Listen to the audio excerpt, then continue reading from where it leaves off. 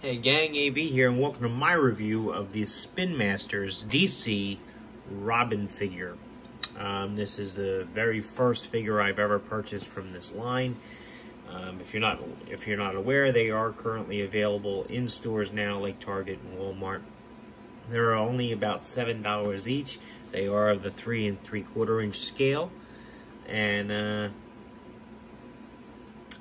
I thought Robin looked pretty decent. I needed a Robin in that size, and this looks pretty promising to me. Um, some of them look a little, uh, for lack of a better term, childish um, compared to some of the other figures that I've collected over the years. Uh, I kind of look for the more realistic looking figures. Um, these look more like, again, for lack of a better term, um, toys, kids' toys, you know. But uh, I figured Robin is able to get away with looking a little on the uh, childish side.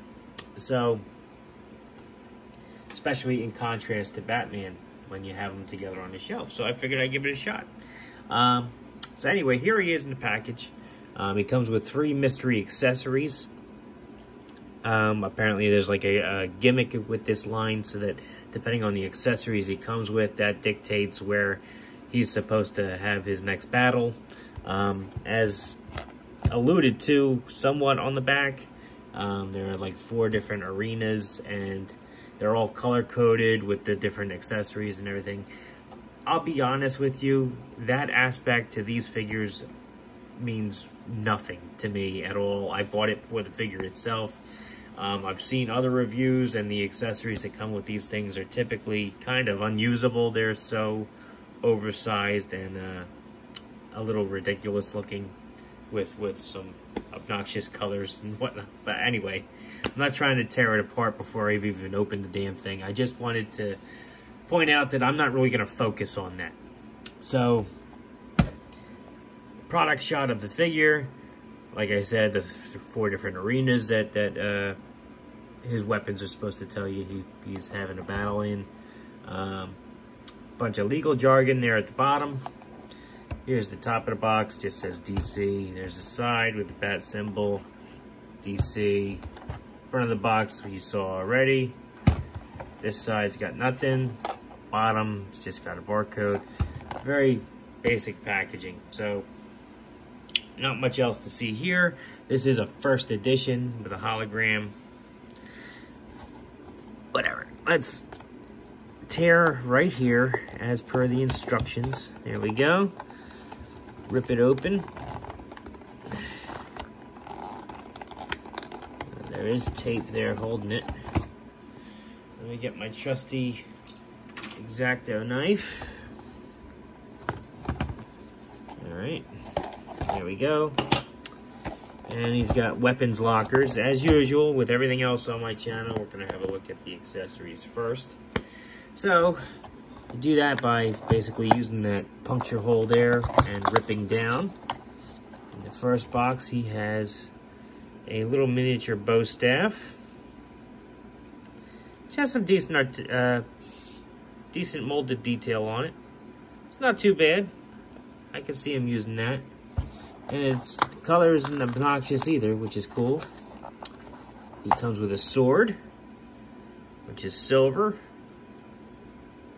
Again, decent molded uh, detail. I could see him using that. Don't mind that at all. And uh, next, we have a red grapple gun, which is very oversized and I'll be honest, I'm never going to use this. so, two out of three ain't bad, I guess, huh? All right, so can't complain remove the figure from the bubble. There we go. He comes with a booklet. We will have a look at the booklet. Let's get rid of this stuff. Toss that off to the side. Here's the booklet. Which, again, shows off the different battle environments and explains the different colors associated with where those battles take place.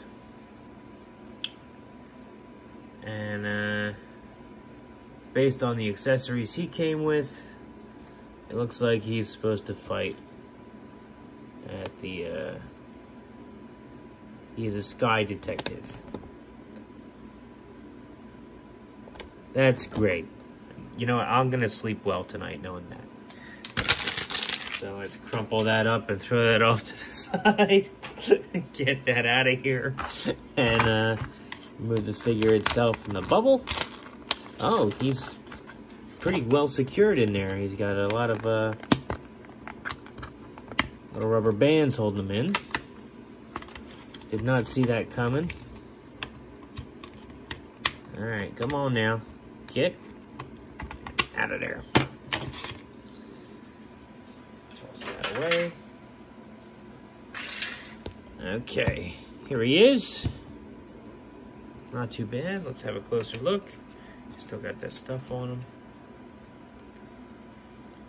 The paint and the mold is really not that bad for this guy. You definitely get what you pay for at $7. I mean, he's... You can't really complain.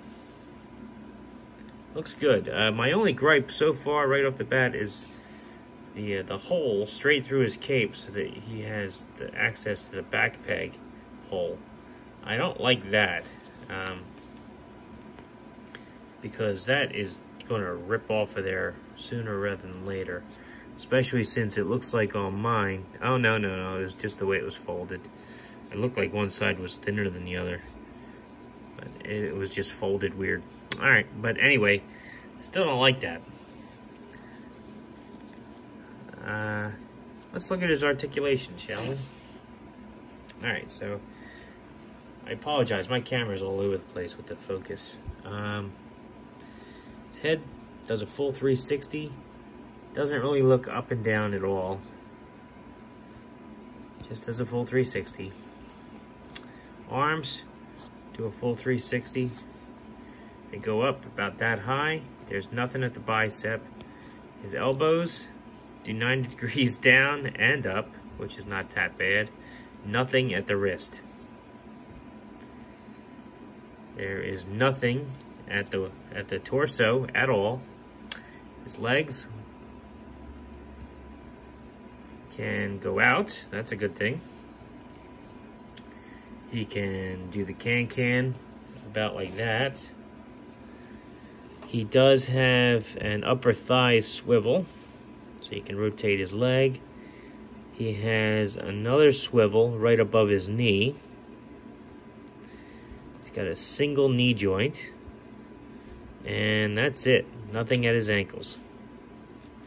So all in all, for a, I, I, you have to be honest. I mean, for a seven dollar figure, this is not bad at all. I am not uh, disappointed really at all.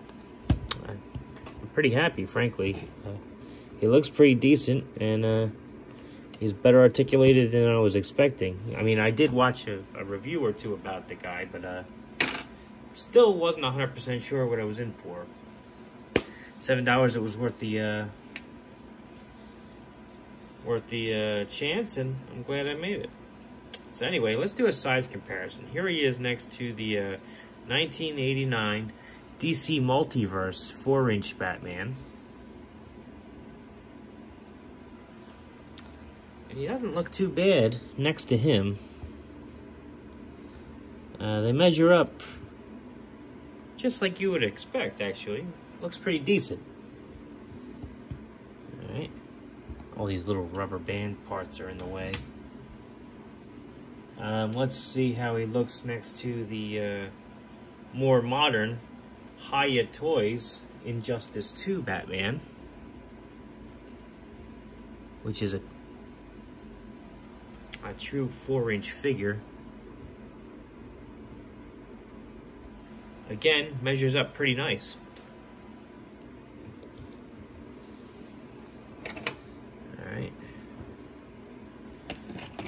He does next to 3 3 quarter inch G.I. Joe.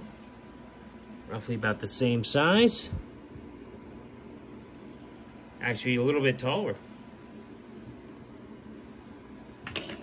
And last but not least, since I still have him out from a previous uh, review, here he is next to a uh, four inch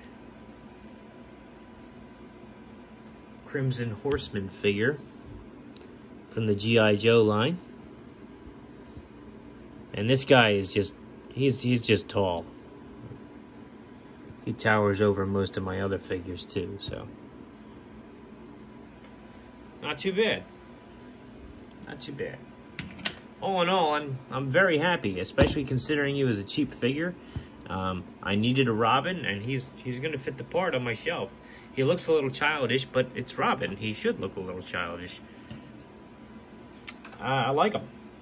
And uh, if you need a Robin in this size for uh, on the cheap, and uh, you you don't mind skimping a tiny bit on the uh, articulation, I think he's solid. So Anyway, this has been AV. If you like this video, check out my channel. If you like what you see there, then please subscribe. And as always, thanks for watching.